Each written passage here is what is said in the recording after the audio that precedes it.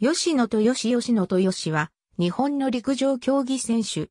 ヘルシンキオリンピックメルボルンオリンピック、陸上女子円盤投げ代表。元円盤投げ日本記録保持者、五種競技日本記録保持者。北海道網走市出身。高蘭高等女学校、中京高等女学校科時代総選考科卒業。戦前はスプリンターとして活躍。1938年、マルチな身体能力を活かし5種競技で237点の日本新記録を樹立した。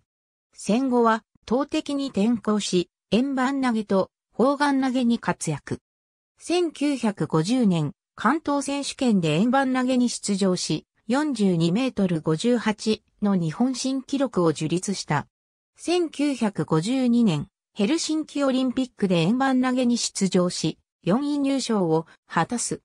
同年、平和大リレーカーニバルで43メートル63の日本新記録を樹立している。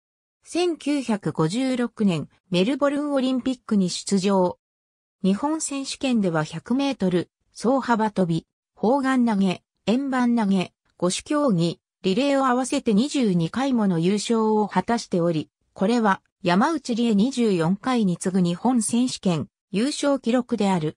また、円盤投げ8連覇、砲丸投げ5連覇も達成している。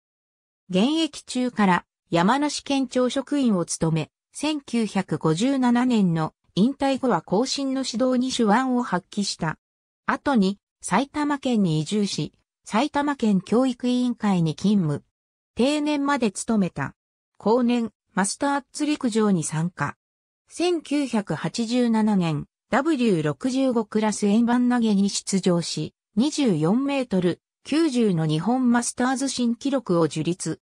1990年には W70 クラスで25メートル80を投擲し、このクラスでも日本マスターズ新記録を樹立した。ありがとうございます。